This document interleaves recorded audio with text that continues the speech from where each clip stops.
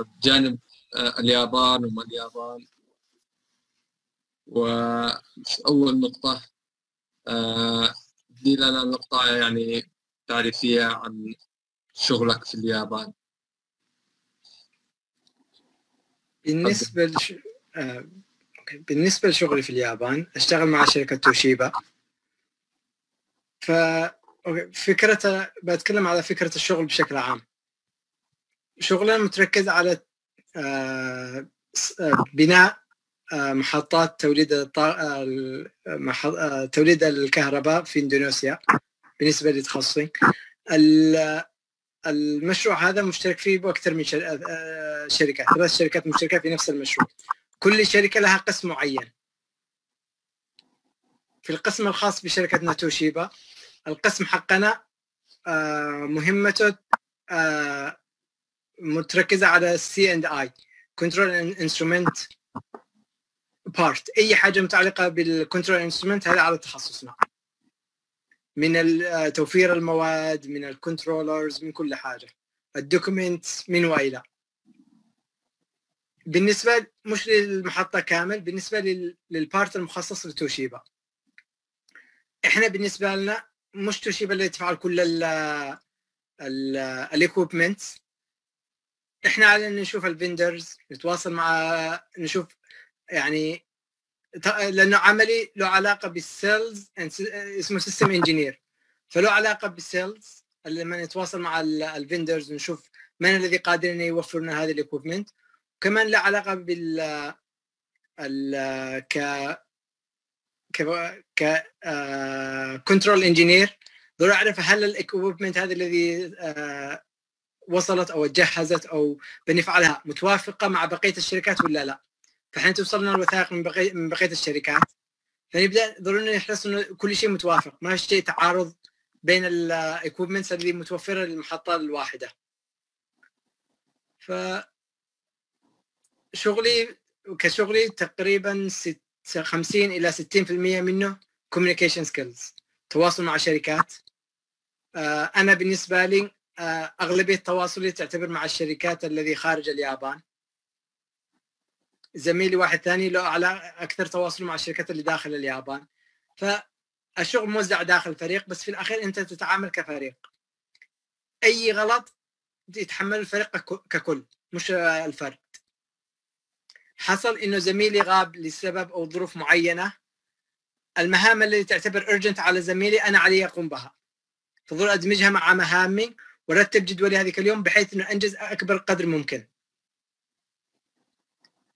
ف آه كمان بالنسبة طبيعة عملي مرة ثانية إضافة إلى التواصل معنا تجهيز ال documents الخاص بال بال control instrument كمان ال controller وال logic diagrams حقه. الذي درسوا في في كهرباء بالذات إحنا مش دارس اسم المادة الآن. بس على سنتي كان اسمها تقريبا electronics لا مش digital electronics تقريبا digital electronics كان اسم المادة. اللي فيها ال OR gate وال AND gate وال flip flop هذا ما زال نفس الاسم digital electronics فهذه المادة هي كثير موجودة في ال documents اللي معانا. لأن إحنا في الاخير إحنا بنبني ال software حق الذي بيفعل run لل plant فال software هذا ال check كله على تخصصنا إحنا فضل نعرف هل هذا متوافق هل بيشتغل نراجع هل هذا فعلا مبني على نفس ال concept الذي الشركات وضعتها نفس ال concept الذي الزبون يشتيه فمثل ما ذكرت فإذا جيت قسمت المهام حقي communication skills documentation بالإضافة إلى uh, عمل ال logic diagrams. فشغلي كله متركز في هذه الجوانب. بالإضافة لأن الفريق حقنا من إحنا أربع engineers معنا بعدين أربعة موظفين آخرين نعتبره ك supporters. ما همش engineers بس هم مهمتهم إذا في في ال CAD ولا في إذا في أشياء معينة في ال documentation نوكلها عليهم. أو شيء إذا في في ال system لأن هنا في اليابان مركزين على ال system ضروري كل شيء يمشي ب system معين. فلما تكون حاجة روتينية نقدر نوكلها عليهم يفعلوها هم. فهذا كلش آه، الذي له علاقة بشغلي في اليابان. جميل جدا. آه، ننتقل اللي بعدها قبل ما تبدأ تشتغل. كيف كانت مقابلة العمل؟ مقابلة إيش الذي جهزت لها؟ كيف بدأت؟ كيف بدا التخطيط؟ بالنسبة لي في بالنسبة لتوشيبا توشيبا أصلا أنا مش إذا إلى الآن ما زالت بس أتوقع إنه ما زالت هي تفعل دائما تجي لي ال UTM تفعل مقابلات في ال UTM ف واحد من زملائنا كان أول واحد سافر إلى اليابان إذا في بعض الشباب يعرفوه بشير الحبيشي. فهذا تقريبا جاء اليابان في 2013 أو 2000 2012 فإحنا أنا أول ما قدمت للتوشيبا كان أول مرة قدمت في 2014 للأسف ما توفقت فيها. بس أتعرفت فيها على بعض الاخطاء التي ارتكبتها وقت المقابلة. فإن شاء الله نذكرها بسردها بعدين. فبعدين قدمت مرة ثانية بعد الماجستير. في 2017 صراحة جاءت فترة تقديمي لتوشيبا. على فترة كان فيها كيف نقول؟ تدن نقول ضعف أو تدني في المستوى يعني. خلاص كنت مش مش مؤمل فيها صراحة. صح إنه لما قدمت أنا قدمت وجاء ب كتبت كل شيء وكتبت لما كتبت في التعبير ليش اخترت التخصص هذا؟ ليش اخترت اليابان؟ حاولت أعبر بأفضل ما يمكن. بس لما جيت للمقابلة ما ما حضرت لها مثل ما حضرت في المرة الأولى. لأني كنت شعوري هذاك الوقت إنه ما ما بيقبلونيش لأنهم عادوا قبلوا واحد يمني في السنة الذي قبلي. فما كنت متخيل إنه بيقبلوا يمني مرة ثانية سنتين بعد بعد ويتركوا لي الماليزيين. فأنا دخلت فيها بس إنه إيش؟ مثل ما تقول إسقاط واجب. هذه كانت المقابلة الأولى. فما حضرت لها كثير. جيت وقت المقابلة وصراحة أنا أعتبر إنه ربما لأني ما حضرت لهاش كثير كانت إيجابية إلى حد ما أكثر من كونها سلبية. لأنهم غالبا في المقابلة الأولى هم قدهم يعرفوا من أنت من السي في الذي قدمته. يعرفوا كيف درجاتك يعرفوا أنت ليش اخترت. فقط الآن إيش يسمعوا منك ويشوفوا كمية الحماس. هل أنت فعلا متحمس؟ أنا لما دخلت لأني رحت وأنا نفسيتي ما شاء الله تمام فرحت تكلمت شاركت مع تكلمت مع الذي كانت تقابلني فلدرجة إنه وصل في نص المقابلة أنا رجعت اسالها أسئلة إيش معنى هذه؟ ليش تفعلوا في الشركة هذه؟ إيش لأن في واحدة من الأسئلة إنك تختار إيش ال... إيش البوزيشن اللي تشتيها فأنا كنت صريح معاهم للأخير قلت لهم شوفوا أنا ما أعرفش الفرق بين ال positions هذه إيش يقصد بال position هذه؟ إيش الفرق بينه وهذه وه... يعني بين الثلاث ال positions design engineer system engineer and sales engineer قلت أنا اشعر إنه هذا بعضها قريبات مرة من بعض. فبدأت هي تروي لي بمخطط تبع الشركة تروي لي إيش مهام كل واحد بالتفصيل. فأخذت إنه أخذ وعطاء من الطرفين. فأنا كنت شاعر بأريحية في الكلام وهي حست إنه أنا متحمس للعمل. يعني أنا فقط ما كانش أسئلتي فقط على آه توشيبا حتى في اليابان تكلمت على اليابان وعلى يعني حاولت إنه فقط إيش؟ كفضول ومعرفة أكثر من كانت أنا أخذتها كفضول ومعرفة. فلما حست هي ربما بالحماس فقامت دفعتني إلى المقابلة الثانية وافقوا وتقدمت للمقابلة الثانية. ف أوكي قبل ما أتكلم عن المقابلة الثانية.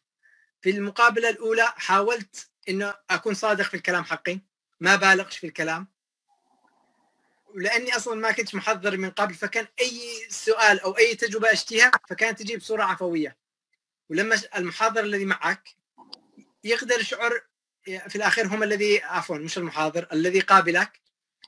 هو في الأخير صاحب خبرة. له أنت مش أول واحد فعل معه مقابلة. يكون قد فعل لي ناس قبلك كثير. فيجي وقد داري من الصادق من الذي يبالغ من كذا. فبناء على خبرته يقدر يعرف إنه أنت كلامك إلى أي حد واقعي فلما كان كلامي فيها نوع من المصداقية ربما نوع من الحماس فأتوقع أن هذه دفعتهم إنه يقبلوني للمقابلة الثانية.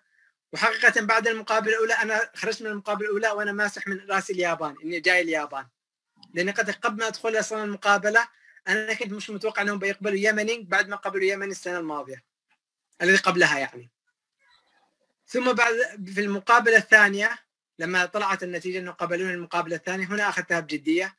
دخلنا في قرأنا في اليوتيوب كيف تفعل في المقابلات نصائح كيف تحضر. بدأت أجهز فرضا أسئلة وجاوبهم من قبل يعني. حاولت الأسئلة حقي آه الإجابة حقي أربطهم بالمقابلة الأولى. ما حدش إنه في المقابلة الأولى قلت كلام في المقابلة الثانية جبت كلام ناقضت الكلام الأول. حطيت كله يمشي في خط واحد. في المقابله الثانية كمان طلبوا إنك تعرض مشروع التخرج حقك. إيش كان وكذا تفعل على برزنتيشن لعشر دقائق. حاولت حضرته بأقصر وأسهل طريقة ممكنة. لأن في المقابله الثانية أنت بتقابل آه المس... المسؤول الذي له علاقة بالفرع اللي أنت اخترته. أنت اخترت فرضا ك sales engineer وك system engineer. فيجيبوا لك واحد له علاقة بال بالتخصص هذا في المقابلة.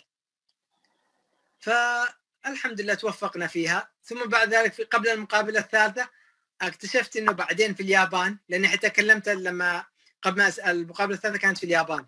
فقبلها الذي قابلتني في المقابلة الأولى تفعل معي يعني تعرف باليابان كذا وقلت إذا معك أسئلة. فكنت أنا صريح معها. قلت له أنا السنة الماضية قابلته يمني. يعني هل في إمكانية إنه فعلا تقبلوني معاكم؟ فقلت شوف إحنا ما نتعامش معك حسب الجنسية. ما يهمناش أنت يمني مش يمني. أجنبي في ماليزيا مش أجنبي. إحنا جبناك من ماليزيا نعاملك كانك ماليزي. جبناك من إندونيسيا نعاملك كانك إندونيسي. وفعلا حتى بعدين لما شفت مخطط فيما بعد لما دخلت في خانة ماليزيا اسمي مسجلة في خانة ماليزيا. وزميلي ثاني يمني قدم من آه، إسبانيا اسمه كان مسجل في الخانة حق other other countries. ورجعت أقول الحمد لله إنه اسمه ذاك آه كملت المشوار الأخير والحمد لله. الحمد لله.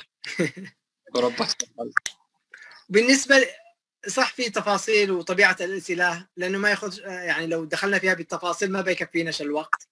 فبامكان أي واحد من زملائنا الخريجين وغير الخريجين الذي يدخل معي في التفاصيل حولها نتواصل أنا وياه في أي وقت. اسمي موجود في في الواتساب حق ال group في group الواتساب. فيدخل يناقشني ويسألني وإن شاء الله أدخل أنا وياه في التفاصيل. لو شيء أرسل له بالوثائق التي قدمتها ما في معي أي مشكلة. وإن شاء الله الفائدة تعم الجميع إن شاء الله ومشكور. ألف شكر. نسيت أذكر نقطة واحدة. بالنسبة للذي شو يقدموا لل لتوشيبا التقديم آه غالبا في شهر ثمانية أو تسعة. تبدأ تنزل في الواتساب في ال website حقهم. من ال website حقهم تدخل تبدأ تقديم عادي. فهم دائما القبول بالذات اللي جاي من خارج اليابان معهم فترة واحدة فقط لها اللي هي هذه الفترة. فيكون بعدين معك في شهر 11 المقابلة الأولى. المقابلة الثانية نهاية شهر 12 أو بداية شهر واحد. والمقابلة الشهر الأخيرة في شهر اثنين. بعد المقابلة الأخيرة بأسبوع أو أسبوعين آه، يرسلوا لك النتيجة. ثم بعد ذلك تلتحق هذا في شهر اثنين تلتحق بتوشيبا من شهر 11 من نفس السنة. في الصيف خلال الصيف مشان نستغلوا الصيف هم يرسلوا لنا فيديوهات مشان تعلم اللغة اليابانية. قبل ما نسافر اليابان في شهر 11 معنا كورس أربع شهور ياباني. هذه فقط اللي ياخذ فكرة كيف البروسيس تتم.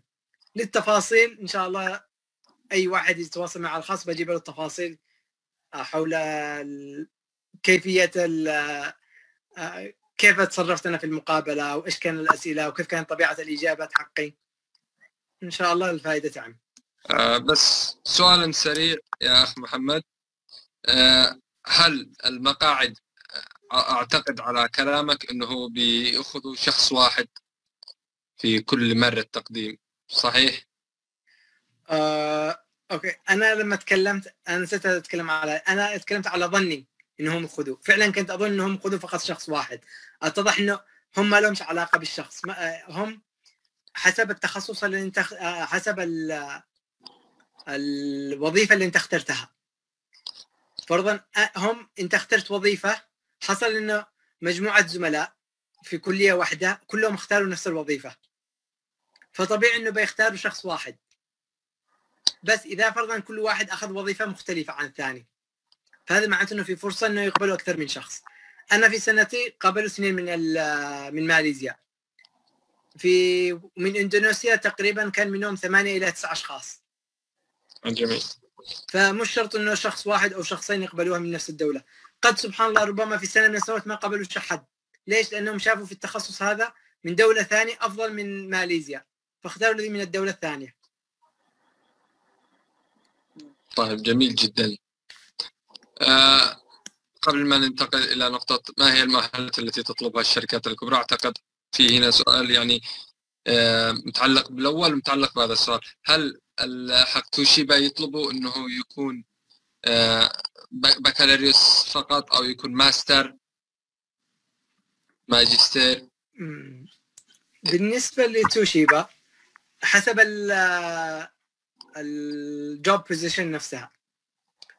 وقت التقديم انت وقت التقديم بيجي لك إيش ال positions المفتوحة فتدخل على واحدة بعضها ما يطلب إلا بكالوريوس فقط.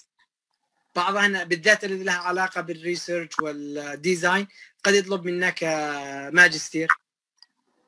بعض التخصصات تطلب دكتورة. بس الدكتورة نادرة يعني. أنا أذكر سنتي كان مفتوح يمكن 30 job position فقط اثنين أو ثلاثة منهم كانت طالبة دكتورة. يمكن 50 إلى 60% كان البكالوريوس يكفي. فهو حسب ال job position في الأخير. جميل. طيب بشكل عام آه، إيش المؤهلات أو ما هي المؤهلات التي تطلبها الشركات؟ الكبرى. كمهارات جانبية مثلا يكون شخص متمكن في السوليد وورك في ال programming. يعني بالنسبة مثلا تخصص آه، الكهرباء والميكاترونكس إيش الشركات هذه الكبرى مثل توشيبا؟ إيش تطلب؟ أوكي. قبل ما أتكلم على الجانب الأكاديمي أو الذي له علاقة فرضا بالدرجات أو البرمجة بتكلم في الجانب الآخر غير أكاديمي المهارات الأخرى. جميل. الشركات في البداية في الأول تركز ليش أنا في البداية قلت أنصح الشباب إنه يدخلوا في الاتحادات والأشياء هذه؟ لأن الشركات في الاخير تشتي واحد قادر يتعامل مع الضغوط الذي حوله. طبيعي إنك لما تدخل العمل بتصادف بعض الأحيان ضغوط وتاسكات كثيرة فكيف تتصرف؟ فالطالب الذي فقط طول حياته فقط كان كتب ولا غير هذا بياخذ نظرة للدكاتره للشركه إنه هذا الطالب مش قادر يتصرف في الظروف الأخرى. ربما العكس وفعلا تصرفه آه، كويس في الجانب الأكاديمي وجانب الحياة بس ما معش مثل الذي نقول إثبات على ذلك. هذه نقطة مهمة هم يركزوا عليها. كيف تصرفاتك تحت الضغط؟ كيف آه، هل أنت قادر إنك تفعل مالتي تاسكينج ولا لا؟ فمثل هذه حتى وقت المقابلة ينصح إنك تطرح هذه إذا معك تجربة في هذا المجال اطرحها على اتكلم عليها اذكر مثال حتى لو هم ما ذكروا لك السؤال أنت اخلق من نفسك في الكلام واطرح هذه النقطة. عندك مهارة التعامل والتواصل مع الآخرين هذه مهمة. يعني واحدة من الأشياء اللي كانت مركزة في توشيبا إن المتقدم ضروري تكون يكون معه لغة إنجليزية. فهذه واحدة كانت من المام كيف؟ لأنه في الأخير هم يشتوا كمان أجانب مشان يتعامل لأن آه، اليابان الآن بدأت تنفتح أكثر وأكثر على العالم. وهذا ولدت فرص للأجانب داخل اليابان.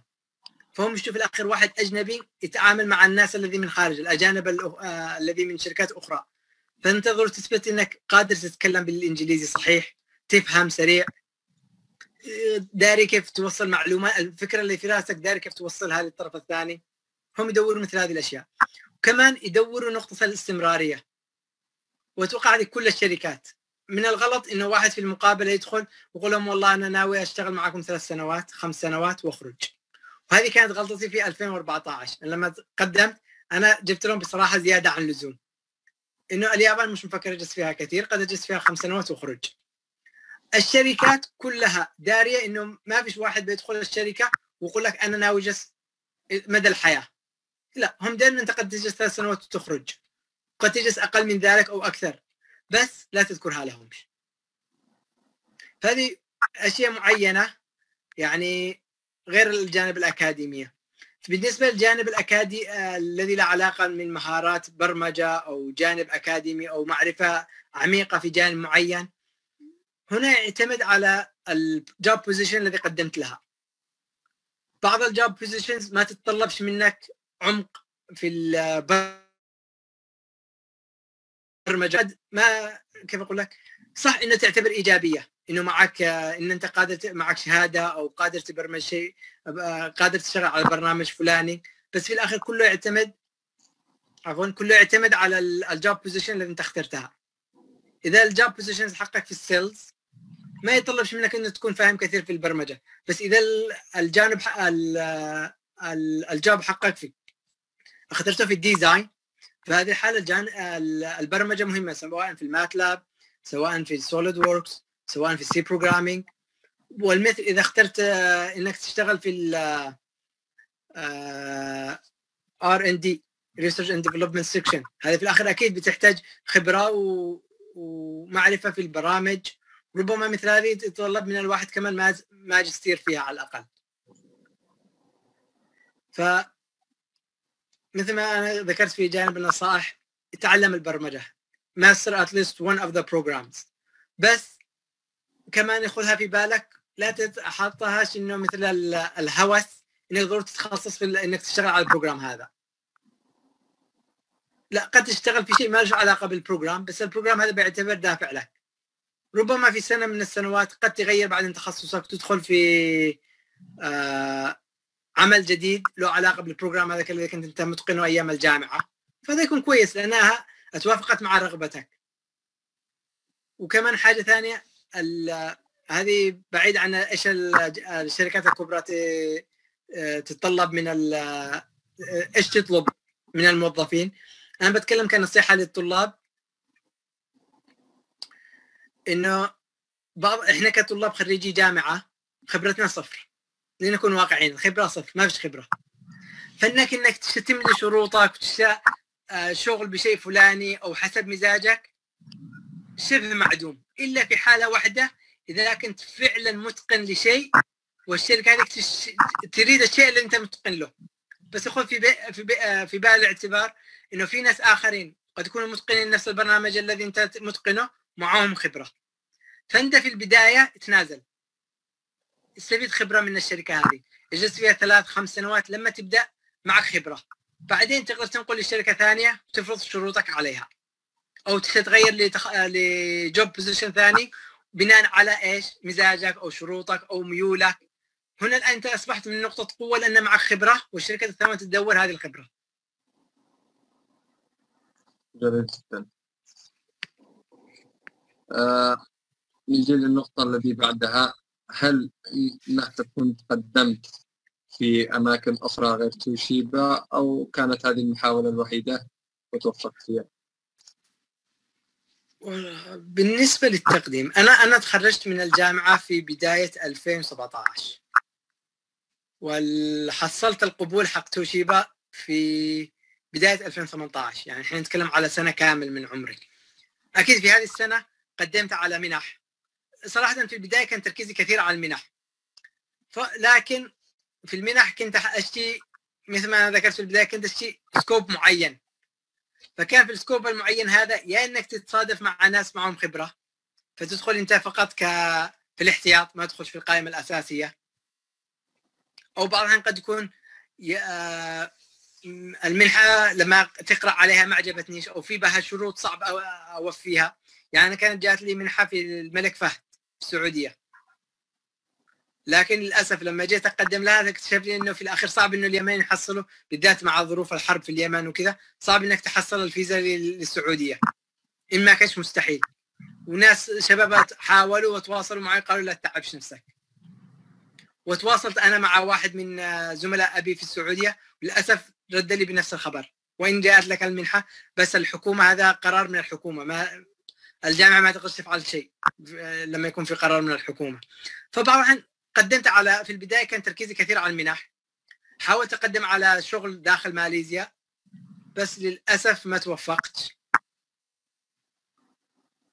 آه فالحمد لله. بعدين لما جيت أفكر بخارج آه ماليزيا اخترت أنا طريقين. الأول آه إني أسافر أستراليا نفس الشباب وفي هذا السنة والنص. من هناك أبدأ أشوف لي طريق سواء في الشغل أو في المنحة داخل أستراليا. والخيار الثاني كان اليابان. وين كنت اليابان كنت يعني بعد المقابلة الأولى مستبعدها تماما. واصلت على فكرة أستراليا قدمت كذا وحصلت لي الفيزا وكان كل شيء تمام. في شهر اثنين جاءت آه، القبول حق اليابان. خلاص كنسلنا بعدين الخطوط كامل. في نفس الفترة هذيك أنا كنت زدت قدمت على منحة أخيرة. قد هذه قد المنحة الأخيرة التي بجربها. قدمت في نيوزيلندا على منحة وكنت بدأ الدكتور يتواصل معي. الذي قد تكون جاء يتواصل معي وقال لي إيش معك من في إيش من program قد اشتغلت وإيش كيف مستواك في ال programming وكذا. بس هو جت أتكلم معي بعد ما قد وافقت أنا على القبول حق آه، توشيبا فردت عليه. عفوا شكرا على اهتمامك. بس حاليا قد جالي قبول من شركة ثانية ووافقت عليها. آه، قبول آه، عفوا فرصة عمل في شركة ثانية ووافقت على الفرصة. ف نصيحتي للشباب بالذات الخريجين كمان لا تنت... لا تقدمش على شيء واحد وتنتظر النتيجة. أنا للأسف كنت في البداية عامل كذا قدم وانتظر. لا قدم على أكثر من واحد و... واللي تصبر تصبر وإذا حصل فيهم تعارض يعني كثير أكثر من واحد قبلك ادرس واستشير بين الخيارات اللي معك. شوف قلبك يميل لفين وامشي عليها. وربك يوفق صحيح. نجي للنقطة التي بعدها وهي هل بيئة العمل يعني الفرق بين بيئة العمل والدراسة التي تدرسها؟ بالنسبة لبيئة العمل والدراسة في الأخير إحنا دراستنا بالذات في ال UTM. للأسف أنا مش داري إذا الآن تغيرت لأن تغير المنهج كثير مقارنة بسنتين بس في سنتين كانت كثير كنظري ورياضيات. بس ما فيش تطبيق على الواقع. آه أنا ما بتكلمش على توشيبا. باعتبار أنا شغلي آه مكتبي كثير أكثر منه كتقني. بس بتكلم أنا على ال training الذي فعلته في اليمن. بعد سنة ثالثة عملت آه ال training الذي كل الطلاب ياخذوه عملتها في شركة في اليمن.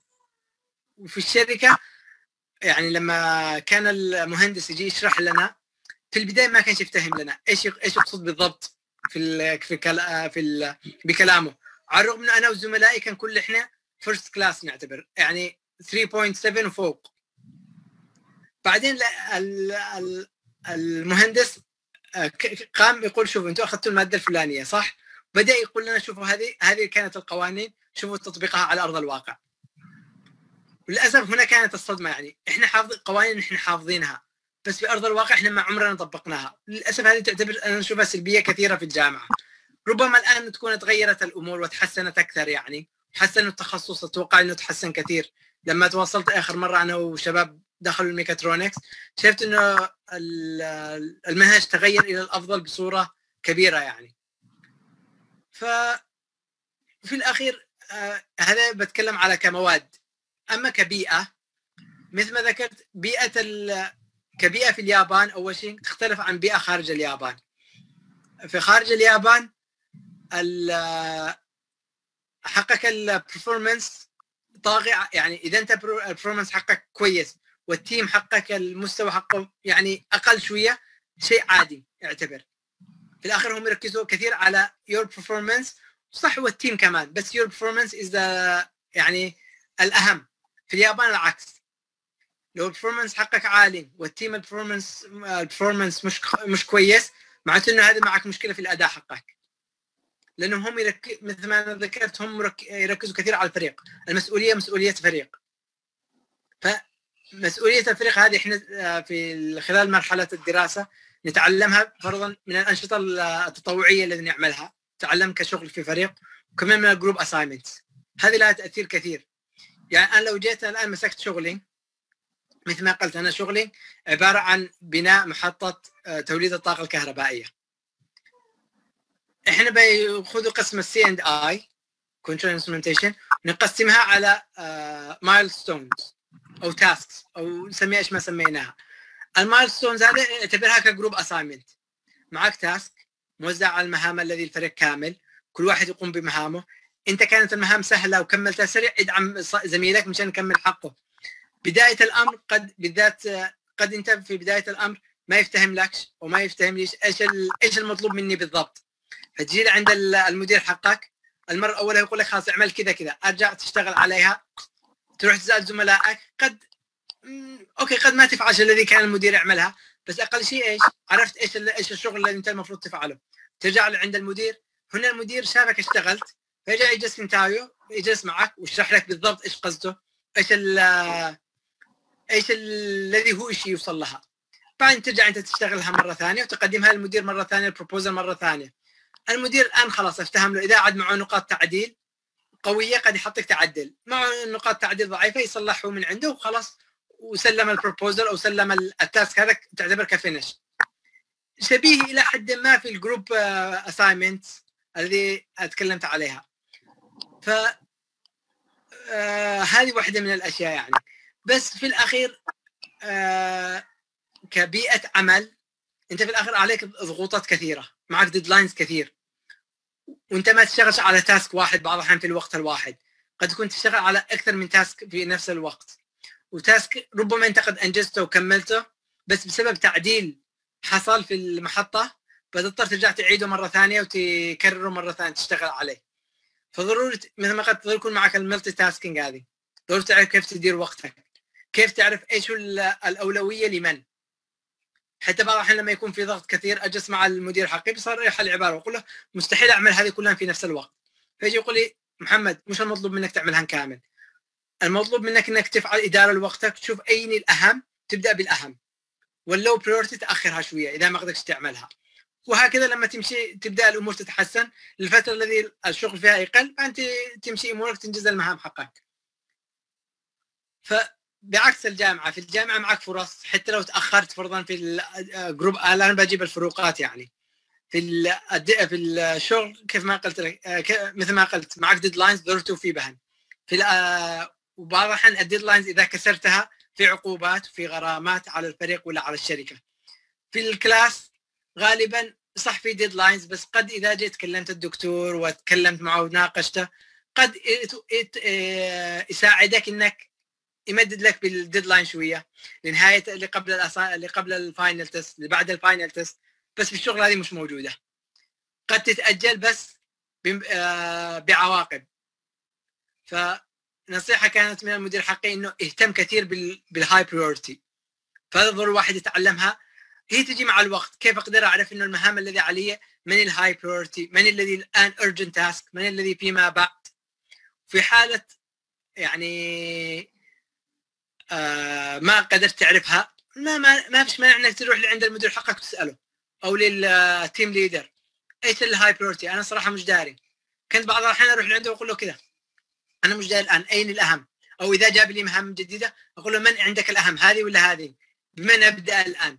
فهو يجيب لي نصائح ونشتغل عليها. جميل. ان شاء الله تكون الإجابة متوافقة مع السؤال؟ لا إجابة كاملة. مشكور. آه طيب. يا, يا بالنسبة لل آه كيف كيف فرص العمل يعني في اليابان بالنسبة للشركات اليابانية؟ هل متوفرة؟ غير بعيدا عن توشيبا. أقول لك يعني الشركات اليابانية متوفقه متوفرة للطلاب الخريجين؟ أو إنهم منفكرين ومنغلقين؟ بالنسبة للشريعه للفرص والله هذا سؤال صعب شوية لأن في الوضع العادي الفرص متوفرة. بس ناخذ في بالنا حاليا في ظروف خاصة بسبب الكورونا وهذا أثر على كثير من الشركات. طبيعي ما دام أثر على الشركات بيأثر على التوظيف. فرح نستبعد آه، وضع كورونا على جنب. فأنا بتكلم على الشركات بشكل عام قبل كورونا. وإن شاء الله الشركات بترجع لنفس الوضع مع يعني خلال سنة أو سنة ونص أو ما إلى ذلك. الشركات اليابانية مثل ما ذكرت من قبل الآن في تتجه إلى أن تنفتح على العالم. لما جاءت تنفتح على العالم اليابانيين ما معهمش اللغة الإنجليزية التي تساعدهم إنه يتناقشوا مع الغير بصورة مريحة. فهم الآن يستهدفوا إنه يستقطبوا عمالة أجنبية داخل البلاد. مش فقط شركة توشيبا بقية الشركات. وهذه إيش إيش تستفيد منها الشركة؟ واحد تستفيد إنه ترفع من ال- ملف الشركة نفسه. يعني كسمعة شركة تعتبر أن إنها مالتي انترناشونال تقبل كل الناس. هذه تعتبر سمعة في الاخير للشركة. عندك الشيء الثاني هم مستفيدوا إنه الأجانب يخلوهم في الاقسام الذي لا علاقة بالتواصل مع الشركات الأجنبية. فهي تسهل على نفسها وتسهل على الشركات الأخرى. والحاجة الثانية إنه تعرف بالثقافه اليابانية للغير. لما أنت تستقطب عماله أجنبية معناته إن أنت الآن بدأت تنفتح على العالم أكثر تعرف بثقافتك للآخرين. والأجنبي هذا لما يجي لبلادك أكيد في الآخر بيتعرف لغتك بيتعرف على ثقافتك وينشرها لغيره. فمثل ما تقول it's win-win situation فهم في الأخير يدوروا فرص. الفرص في اليابان آه، أفضل طريق هي أفضل طريقتين. الأولى عن طريق تدخل موقع الشركة. أنت كمهندس تقدر تدخل في سنة مثل ما قلت أنا من قبل في سنة ثالثة أو في سنة رابعة تعرف على الشركات اللي لها علاقة بتخصصك فرضا في اليابان. إيش الشركات هذه؟ كيف مستوى الشركات هذه؟ تبدأ تحدد لك لستة بالشركات. تمام. ادخل اتعرف على متى آه وقت التقديم حقهم من شأن فرص العمل. غالبا رب غالبا هم تقديم فرص العمل في اليابان يكون من شهر ثمانية إلى شهر واحد بهذه الفترة يعني. فابدا شوف في الشركات شوف إيش يشتوا منك. وقدم. هذه في الأخير إحنا كطلاب خريجي جاء UTM سمعة UTM قوية من بين أفضل الجامعات في شرق آسيا. فمقبولة على طول. ما فيش أي مشكلة في الجامعة. فأنت ابدأ قدم وارجم السي في حقك وشوف. وهم إذا إذا أعجبهم السي في بيتواصلوا معك. هذه الطريقة الأولى. وتعتبر هي أفضل طريقة ل... بعدين برجع أقارن بينها وبين الطريقة الثانية بعد ما أتكلم عن الطريقة الثانية. الطريقة الثانية إنك تجي عن طريق hiring agencies تروح لعند ايجنسي آه، سواء في تقدم عليها عن طريق الإيميل إذا الايجنسي داخل اليابان أو بعض الاحيان تكون ايجنسي آه، عالمية مثل كويست تقدم ال CV حقك. أنا اشتغل في اليابان هذا ال CV حقي وكذا. هم يبدأوا يشوفوا إيش الفرص المتوفرة اللي لها علاقة بتخص... بمجاله. وتواصلوا معك يقول لك معك هذه الخيارات. كيف تريد ولا ما تش... ما تريد؟ وأنت تبدأ تختار. الايجابيه الإيجابية حق الطريقة الأولى لما تقدم عن طريق الشركة هنا نظامهم في اليابان إنه أنا أقدم لك آه لما يقدم لك العقد حق العمل. العقد مدى الحياة. يعني الشركة مش من حقها تفصل الموظف إلا في حالة الموظف أخل بالجانب الأخلاقي سواء رشوة أو خل بقوانين اليابان. فبهذه الحالة بإمكانهم يفصلوك. غيرها ما لهم أي حق بيفصلوك. أقصى شيء يمكن يعملوه إنهم آه، يحرموك من البون البونس اللي يجيبوها مرة أو مرتين في السنة. هذا تقريبا أغلبية الشركات الكبرى في اليابان هم ماشيين على هذا النظام. بس في خبر إنه النظام هذا الشيء يلغوه. فهذه الشركات هي مستفيدة منك. ما أقول لك انه الشركة خسرانة. الشركة مستفيدة منك لأنها تق... إيش الفكرة الآن الشركة تقول تقول لك اني الآن أقدم لك آه وظيفة مدى الحياة بس في المقابل الراتب بيكون أقل شوية من الذين يجوا عن طريق الهايرنج ال hiring agencies يعني إذا أنت معاشك نفترض 2000 دولار الثاني قد يكون معاشه 3000 2500 بس بالمقابل أنت بجانب المعاش حقك الذي بيكون مدى الحياة سيكون معاهم آه بعض ال آه، إيش يسموها؟ والله نسيت الاسم. بعض نقول مساعدات جانبية مثل السكن. يعني أنا الآن في بالنسبة لي الشركة تدفع لي 70% من السكن في أول ثلاث سنوات. و50% بالسنة الرابعة والخامسة. عندك آه ال insurance حق حق الشركة. غالبا حق الشركات الكبرى يكون معهم insurance عفوا مش insurance أحسن من الشركات الثواني. فيكون معاهم أشياء يجيبوها لك تغطي النقص الذي بينك أنت وبين الذي جاء عن طريق ال hiring agencies كمان مثل ما قلت أنت الذي جيت عن طريق الشركة على طول غالبا وظيفة مدى الحياة بالمقابل الثاني حسب الحاجة. أنا احتجتك في المهام. قد تجلس معي سنتين ثلاث أربع خمس. حصلت أزمة معينة أقدر أقول لك للشركة حقك خلاص ما عاد الموظف حقي. فالذي جاي من hiring a- agency معاهم النقطة هذه إنه قد في أي لحظة الشركة تتخلى عنك. في الأخير الثنتين لها إيجابيات وسلبيات الشباب بامكانهم يقراوا عليها بس الذي أنا أشوفه أفضل انك تجي عن طريق الشركة مباشرة. لأن فيها امتيازات أخرى غير المعاش نفسه. مشكور جدا يا باشمهندس. آه الآن نجي حدثنا على الحياة في اليابان بشكل عام. وهل كانت اليابان مثل توقعاتك؟ أو يعني كانت مختلفة عن ما كنت تتوقعها؟ وكم مدى الاختلاف بينهم؟ بالنسبة للحياه في اليابان أول حاجة ضروري نأخذ بعين الاعتبار إنه الحياة في اليابان عبارة عن working style society يعني الشغل في الأخير هو الأهم هو الأول يعني مقدم على كل شيء. مؤخرا في السنوات الأخيرة بدأوا يميلوا إلى إنه ال family برضه مهم والأسرة والكذا بس ما زال يعني عندهم الشغل هو مهم جدا جدا جدا. ف آه، يعني قد تحصل في لما في اليابان الموظف يجي لك يشتغل من الساعة 7 أو 8 ما يخرج من الشركة إلا الساعة 10 الليل 9 الليل. فهذا شيء عادي يعني. أنا بدخل بعدين في التفاصيل على هذا الشيء بعد بعد بعد ما اكمل النقاط بدخل على ليش هم يفعلوا هذا الشيء. الحاجة الثانية في اليابان الذي فعلا يعني الحياة في اليابان وأنذهلت منها حقيقة السكك الحديدية القطارات في اليابان. يعني في ماليزيا فرضا القطارات موجودة في العاصمة. في الدول بعض الدول الأخرى القطارات موجودة فقط في المدن المهمة. أنا ما اتكلم على قطارات عادية أنا أتكلم إنك تقدر تروح لأي مكان بالقطار. هنا في اليابان لا. بإمكاني أروح لأي منطقة في اليابان عن طريق القطارات في المنطقة هذه حتى وان كانت بعيدة إذا كان استثنى الأماكن آه، يعني القرى والكذا. يعني في أي مدينة في اليابان القطار شبكة القطارات فيها رهيبة. توصلك لأي مكان.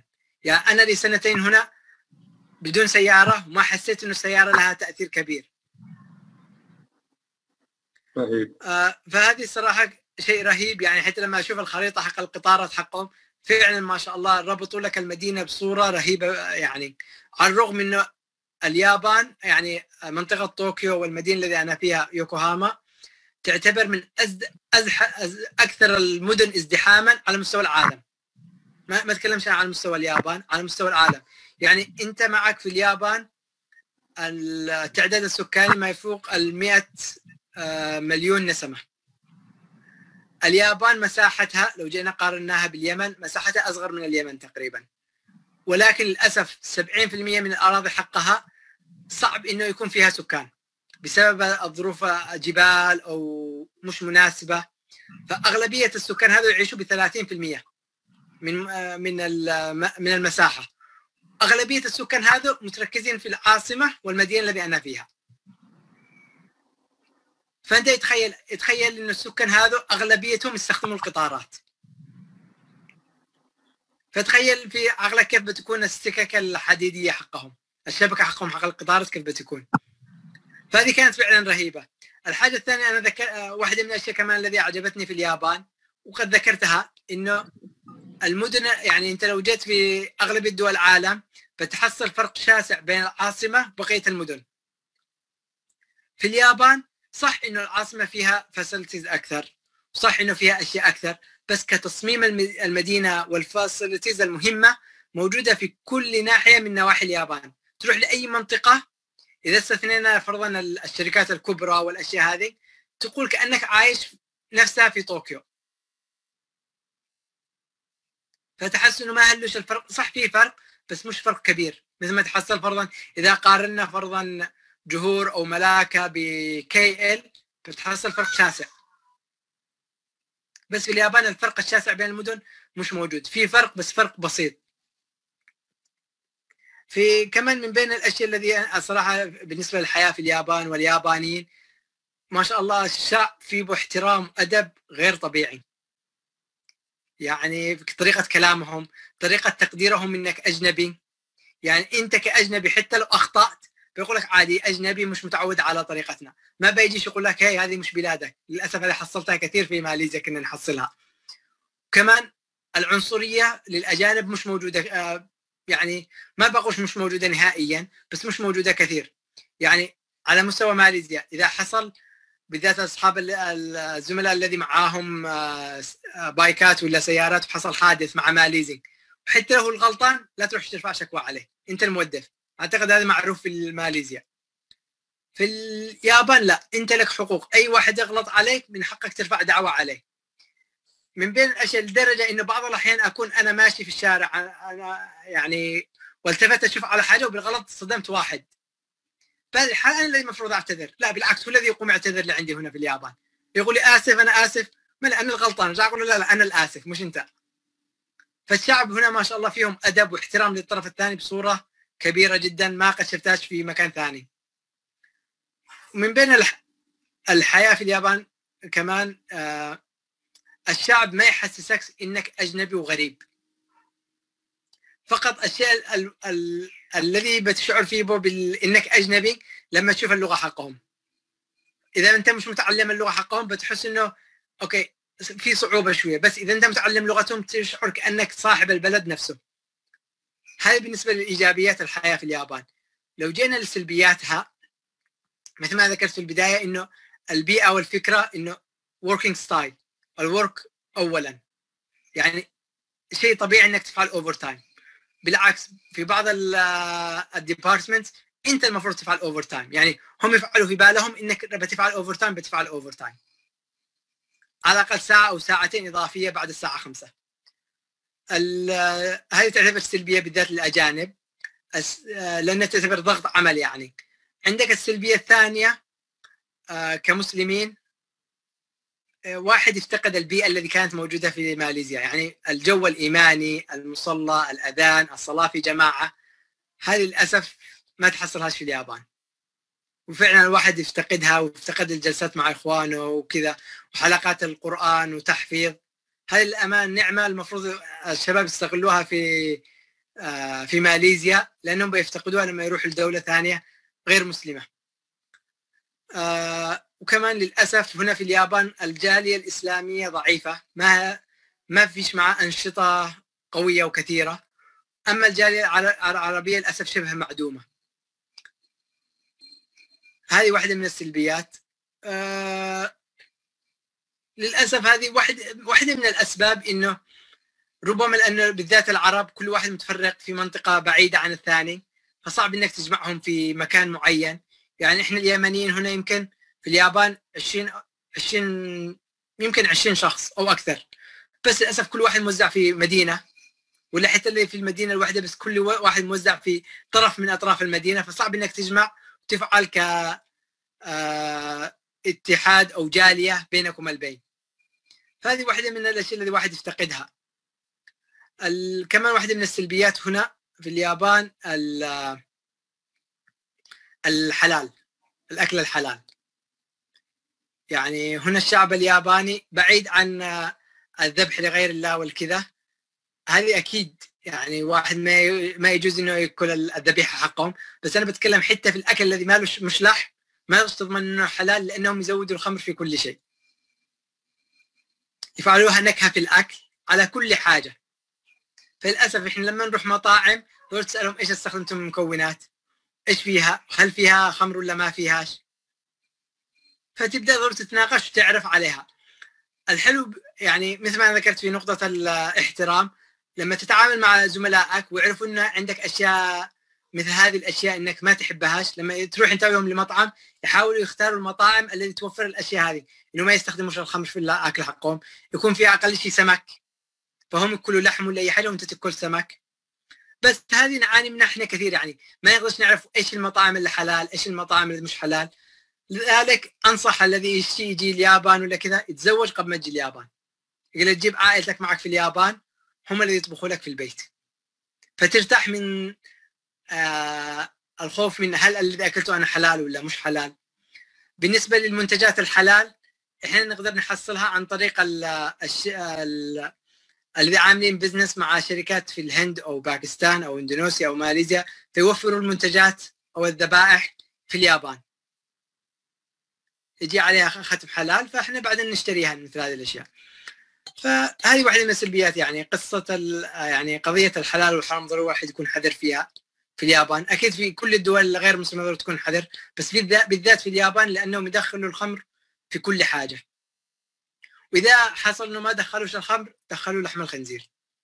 أو زيت أو شيء مستخلص من الخنزير. ف متعبه هذه القضية. من بين الأشياء خارج الحياة في اليابان الشيء الذي كنا أتوقع إنه الكل متوقعه وكانت متفاجئه مني إنه العكس تماما. إحنا لما نتكلم يعني أو فكرتنا في اليا... اليابانيين انهم ما شاء الله شعب ذكي شعب عبقري. وصراحة المفاجأة كانت إنه ربما إحنا الشعوب العربية أذكى منهم بكثير بكثير بدون مبالغة. ربما بعض الأحيان نتناقش أنا أنا ويوم على أشياء واجي أقول لهم الفكرة الفلانية ليش ما نعملش؟ يجون أوه والله صح كلامك صح. وأنا بالي إنه هذه فكرة عادية يعني ما أقول لك إنه فكرة إنه خرافية ولا شيء إنه جبت شيء غريب. بس إيش اللي يخلي الدول الدولة مثل اليابان ما شاء الله متقدمة ومتطورة وللأسف دولنا متراجعة إنه إحنا دولنا كل واحد يجيب فكرة وما ينسقش مع الثاني. فتحصل انه الأفكار تتعارض مع بعض ويخرب المشروع بكله. هنا في اليابان لا ماشيين على نظام على سيستم إحنا الشيء الفلاني فخلاص نبدأ يوزعوها ويفعلوا مانوال كيف نفعل. إذا الشيء يفعل فرضا آه آه لما تفعل في الشركات أكيد بتتواصل مع department فرضا حق ال electrical الميكانيك وغيرها فيفعلوا اجتماعات ويحددوا متى يوم الاجتماعات قبل الاجتماع بشهر. قد هم محددين يوم الكذا في اجتماع. فكل واحد يجهز وتتناقش انت والطرف الثاني. مشان إيش؟ كل حين نمشي على جدول معين. وإحنا بعض الأحيان الأجانب نضحك على اليابانيين شوية نقول لهم أنتم من دد من كثرة حقكم الاجتماعات ولا ال manuals هذه معكم حتى manual لل manual نفسه بس بقدر ما هي فيها شوية لأنهم هم فعلا يعني آخذينها لل extreme البعيد بس فيها إيجابية كثير إنه فعلا الأمر ما يخرج من عندهم إلا وقد هم متقنينه ويخرج بأفضل صورة ممكنة. فهذه واحدة من الأشياء الذي نتمنى إن الدول العربية تستفيد منها في اليابان، إذا واحد قدر ينظم وقته، ينظم حياته، ينظم التعاملات حقه، اهدافي توصل لنقطة معينة حتى وإن أخذ منك وقت بس في الأخير يعني على مستوى الذكاء الذي معنا في الدول العربية والله بإمكاننا نحقق المستحيل. وهذه مش مبالغة يعني مني.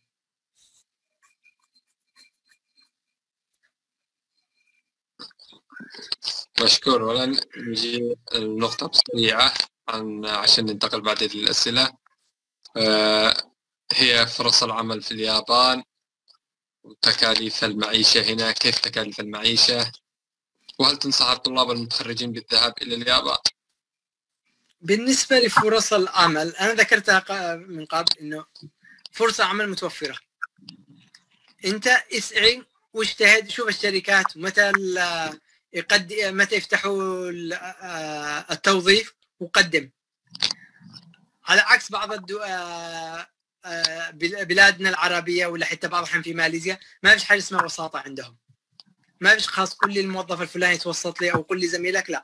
إحنا معانا سيستم اتبع ادخل في الرابط حقهم قدم الأوراق حقك وكل حاجة وامشي على النظام نفسه. وإذا اختاروك بيختاروك تدخل تواصل هذا تقريبا كل الشركات فيها. فهذا الخيار الأول إنك تدخل عن طريق ال hiring system حق الشركة نفسها. هو الامانه أنا أشوفه الأفضل باعتبار إنه بيكون معك امتيازات أخرى بتكون مفيدة كثير. وكمان مش بس امتيازات سمعة إنك شغال للشركة الفلانية. هنا في اليابان السمعة مهمة جدا جدا جدا جدا. يعني تعاملهم أنا قبل ما أجي اليابان حصلت لي مشاكل يعني واحدة من الأشياء اللي أنا كنت للمقابلة الثالثة. كانت معي مشكلة إنه ما أقدرش أقدم على الفيزا اليابانية لأن المقابلة الثالثة في اليابان. لأني أنا مانيش طالب في ماليزيا. كانت كملت طالب ما عاد كنت طالب كملت الفيزا حقي. فكنت آخذ فيزا السفارة. فباعتباري مش طالب مش ما كانش مسموح لي إنه أخرج. عفوا باعتباري إنه طالب مش مسموح لي إنه أدخل اليابان. قدمت لهم إنه أنا و... أنا جاي عن طريق توشيبا وكذا. طلبوا مني ورقة من من السفارة. أنا عفوا ورقة من الشركة. فتواصلت مع الشركة جابوا لي الورقة هذه قدمتها لهم خلال ثلاث أيام الفيزا بيدي. فهم يتعاملوا مع الشركات الكبرى إنه لا هذه شركات كبرى لها سمعتها ولها احترامها.